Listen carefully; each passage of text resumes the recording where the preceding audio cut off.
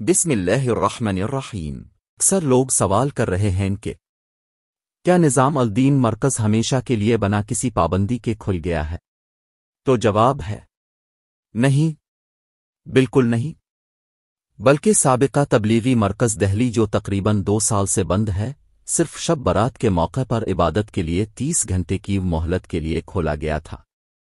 यानी 18 मार्च जुमा को 12 बजे से हफ़्ते की शाम 4 बजे तक पुलिस की निगरानी में खोला गया था और 4 बजे फिर बंद कर दिया गया।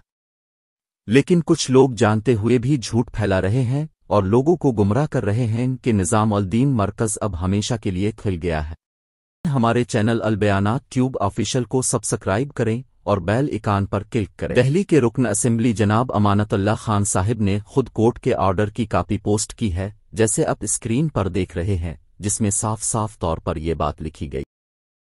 रकम 12 ऑर्डर में लिखा है कि सबका मरकज को 18 मार्च 12 बजे से हफ़्ते की 4 बजे तक खोलने की इजाज़त दी गई है, जबकि ऑर्डर नंबर दो में लिखा है, बैरूनी मेहमानों के दाखिले पर पाबंदी बरकरार रहेगी।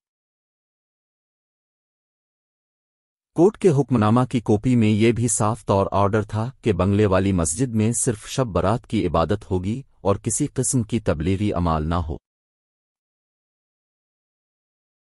की रिकॉर्ड की गई वीडियो अब देख सकते हैं कि सबका मरकज दहली का दरवाज़ा बंद पड़ा हुआ है। देखो।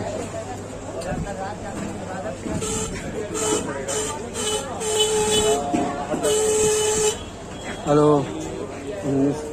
मार्च से मरकज का दरवाज़ा बंद हुआ है। हेलो। आज उन्नीस मार्च से मरकज का दरवाज़ा बंद हुआ है। अल्लाह ताला झूठ से हम सब की हिफाजत फरमाए। अल्लाह ताला हमें बुज़ुर्गों और अकाबरीन की रहनुमाई में मशवरे के साथ दीन की मेहनत की तौफीक अता फरमाए।